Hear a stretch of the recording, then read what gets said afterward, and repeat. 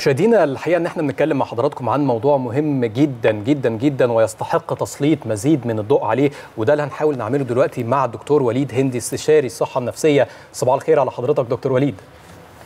أستاذ باسم وأستاذة سارة صباحكم يا رب دايما جميل. صباح الخير يا دكتور. صباح النور على حضرتك. منورنا في هذا الصباح ونحاول إن إحنا نفهم مع حضرتك التأثيرات النفسية أكثر على الأطفال وعلى النشء وعلى المراهقين حتى لأنه التأثيرات النفسية للتعامل مع الإنترنت ليه مزايا بالتأكيد ولكن أيضا ليه عيوب. إيه اللي إحنا كأهل محتاجين ناخد بالنا منه؟ إيه اللي محتاجين نركز عليه؟ إيه اللي ممكن المدى الخطورة بتاعه يستمر مع أطفالنا لو وقعوا فيه بعد الشر؟ لحتى يبقى جزء من شخصياتهم وجزء من طباعهم لما يكبروا يفضلوا يعانوا بسببه.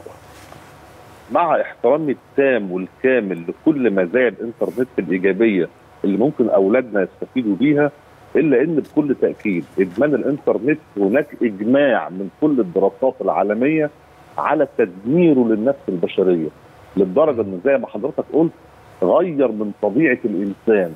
يعني في دراسات كتير معمولة قالت حتى الأطفال اللي بيدمنوا الإنترنت ما بقاش مجرد عندهم عدوان متمثل في العنف والمشاكل المتكرره مع أصدقائهم أو في المدرسة ده كمان بقوا شخصيات ضمنيا ماشيين على الأرض عندهم سلوك عدواني سلبي. إيه السلوك العدواني السلبي ده؟ إن هو دايما تلاقيه مستاء مش عاجبه حاجة رافض السلطة الوالدية وكل أشكال السلطة مع المعلم في المدرسة ومع المدرب في النادي. ده حتى لما يكبر مش هيعرف يشتغل في منظومة مش هيعرف فن القيادة والتبعية لأنه على طول عنده سلوك عدواني سلبي على طول ساخر متنمر بيكتب تعليقات لاذعه ما يعجبوش العجب ولا الصيام في رجب وبالتالي هيبقى عنده صعوبة في التكيف الاجتماعي لما يكبر مع مشاكل الحياة في الخطوبة والجواز وتربية أولاده وهكذا. فالكيمياء بتاعت أولادنا كلها اتغيرت. ده مش كده وبس كمان. ده كان عندنا أكبر جامعات في العالم زي جامعة ويسترن في سيدني وهارفارد والكلية الملكية في لندن وإكسفورد. كل دول عملوا دراسة مشتركة لقوا في تغيير في بنية عمل الدماغ عند الأطفال نتيجة استخدامهم للإنترنت. قدرات الدماغ قلت التركيز قل الإدراك قل التفاعل الاجتماعي بقى أقل. كل ده خلى الأطفال ماشية مشتتة. فعلا يا دكتور. الشارع. مم.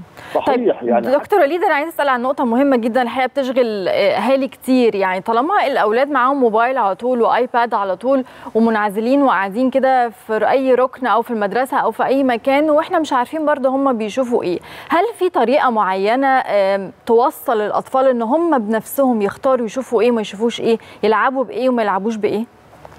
أنا أقدر أوجه سلوك اطفالي من خلال المعطيات اللي أنا بديها لهم في التربية. مم. يعني أنا دلوقتي المثل بقول لك ابنك على ما تربيه. صح. طول ما أنا قاعد بتكلم مع ابني بتناقش مع ابني بعرفه إيه هو المرغوب من الغير مرغوب. مم. هو ذات نفسه هيبقى عنده قدرة على الفرد وعلى اختيار الطيب من الثمين والثمين من الغث زي ما بيقولوا. هيبقى عارف الأبيض والأسود والخير والشر لوحده. ناقش ابنك كلم ابنك.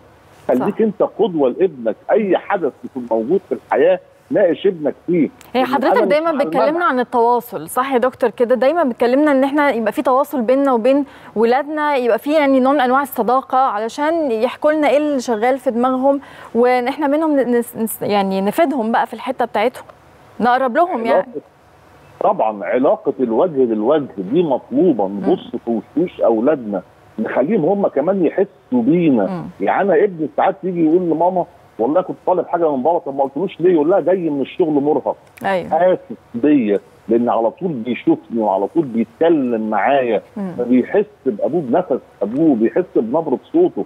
طول ما إحنا قريبين من ولادنا بنتفرج على التلفزيون مع بعض بناكل مع بعض بنخرج مع بعض بنتناقش مع بعض. في جسور حوار مفتوحة. صح. الابن حس إن أبوه قاعد متابعه التحليقه اللي تحت عينيه أسلوب كلامه طريقة أكله. طول ما إحنا ولادنا حاسين إن هم في المنظومة صدقيني هيبقى عندهم عزوف على إدمان الإنترنت وهيستمتعوا بسلوك الانسنه اللي إحنا موفرينه ليهم. صح يا دكتور يعني دي رسالة من حضرتك لكل أولياء الأمور الحقيقة إن هم يهتموا بأطفالهم بشكل أكبر ويلاقوا لهم وقت. ده الأهم دلوقتي في عصرنا الحالي. بشكر حضرتك شكرا جزيلا. دكتور وليد هندي استشاري الصحة النفسية.